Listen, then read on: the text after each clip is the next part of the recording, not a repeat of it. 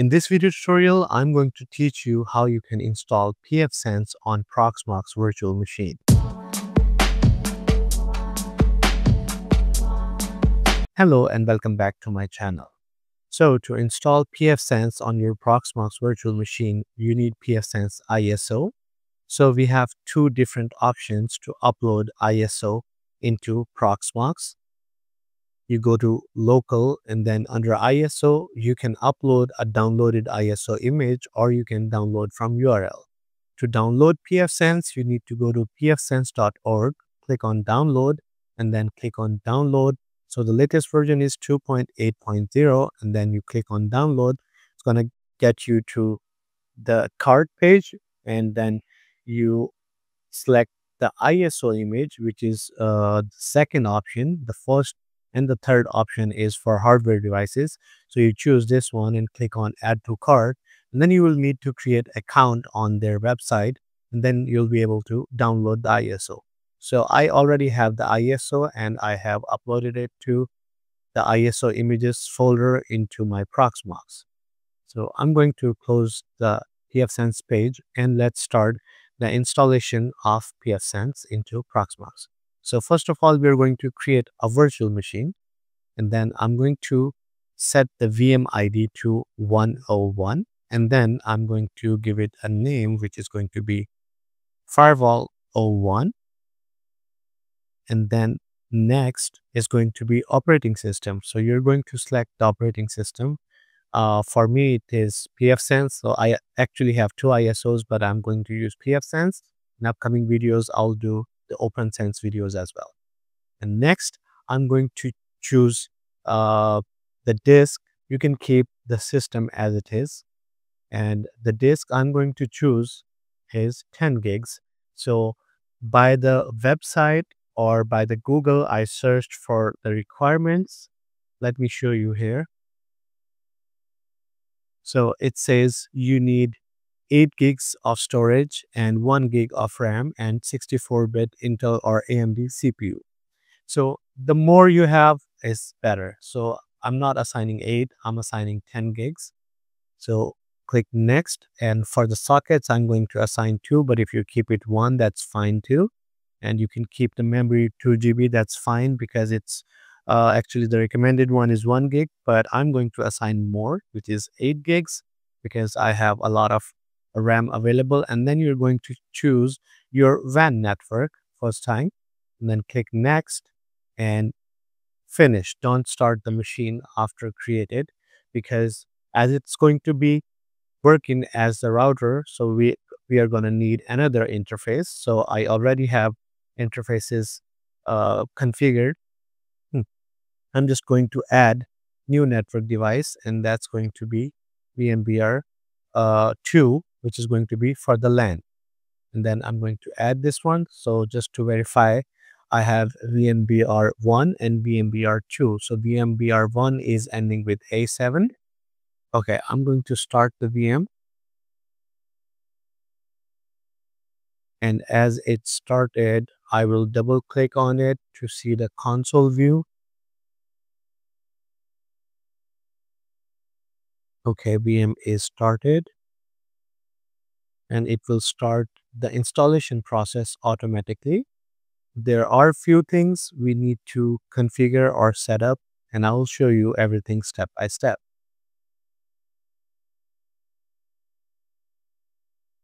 Okay, so this is the first thing, license agreement.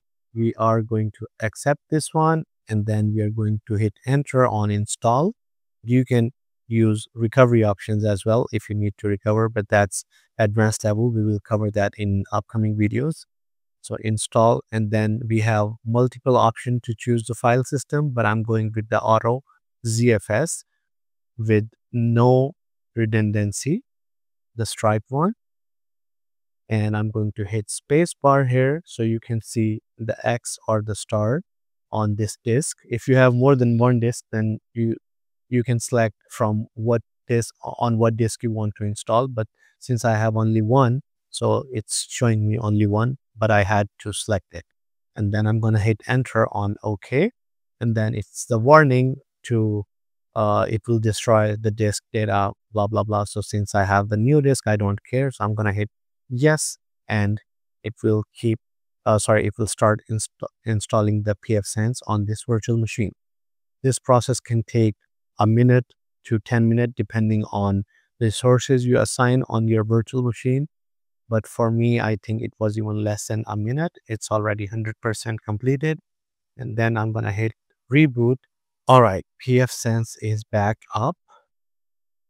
And I'm just going to assign the interface name. So for the WAN one, definitely it's VTNet 0. And then for the LAN, it's VTNet 1. And then hit enter. And then it's going to confirm this will be assigned to blah, blah, blah network. Hit Y. Yes, I do want to proceed. All right, so the interfaces are configured. You can see WAN VTNet 0, which has this, this, this IPv6 address, and LAN is automatically assigned with 192.168.1.1. But we need to change those addresses because I want to set a static IP address on WAN, but you still have option to get the IP from DHCP server on WAN as well. So don't worry if you don't have a static IP address. Okay, so uh, starting from number zero is to log out from this session and number one is to assign interfaces. So we'll go one by one. So I'm going to hit one and should VLANs to be set up now? I'm going to say no, because I don't want to set up VLAN. And then we're going to set up the names for the interfaces, what we did already, but I wanted to set up VLANs to be set as no. So I had to go through this process. And then I'm going to assign those names again, VTNet 0 for WAN and VTNet 1 for LAN. And then proceed, yes. And then after this one, we will configure the IP addresses on both interfaces WAN and LAN. All right, so step number one is configured and uh, I mean, step number one is done and let's go to step number two, which is going to set the IP address. And now it's asking which interface you want to use to set the IP address. So first one, I'm going to choose a WAN. And so here is the option. If you have DHCP server after your WAN, you can hit Y and your WAN will be set up using the DHCP address. But I have the static IP address, so I'm going to hit N and then I'll need to type the address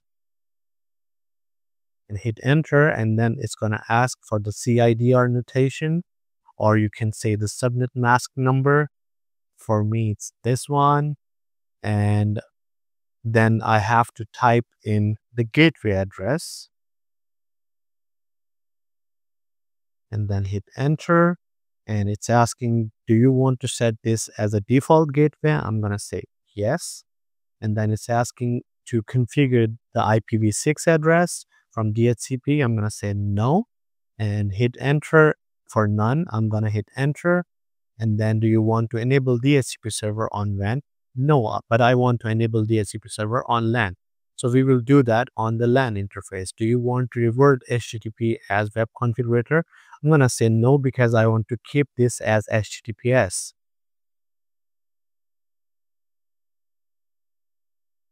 Okay, IP address is set and then I'm going to hit enter to continue. And then again, I'm going to type 2 because I have to set up the LAN address.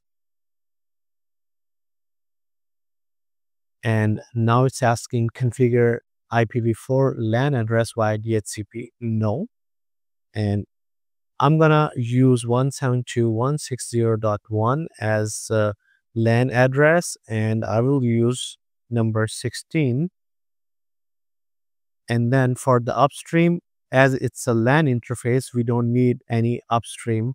So I'm just going to hit enter because it's saying for LAN, uh, press enter for none.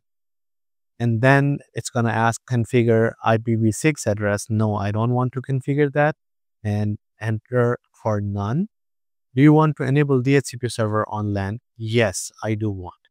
And then it's asking for the start address.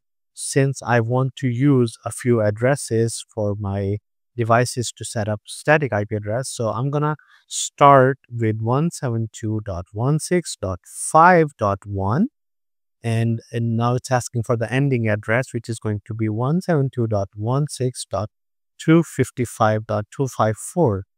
I'm gonna hit enter. And again it's going to ask me if you want to convert it to uh, from https to http i'm gonna say no i do want it to stay as https okay so ip address is configured and now we can access the web configurator using 172.160.1 so i have already windows 10 machine here. I'm gonna go into that machine and then uh, try to access with this ip address.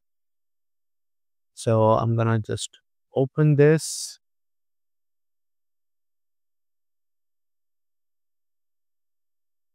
And uh, do you want to allow network? Yes, I'm fine with that. But let's check if we're getting any IP address. If not, then we will set a static IP address just to access the page and then we will do further configuration of pfSense. Okay, let's check if it's getting the IP address. If not, then the, we will restart. So it's getting uh, the previous IP address 192, which was previously configured. So I'm going to just disable it and then re-enable it. That's the easiest way to get the IP address. There are like several ways you can do this with the command ipconfig release and renew. But this is the easiest way. Just disable the interface and then re-enable it. Then you will get the new IP address. And then I'm going to double click on it and see the IP address. If it's in 172 range, that means we are getting the IP address. So you can see it's 172, 16, 222.41. So it's in the range what we set uh, on our router. So I'm going to go into this Edge browser.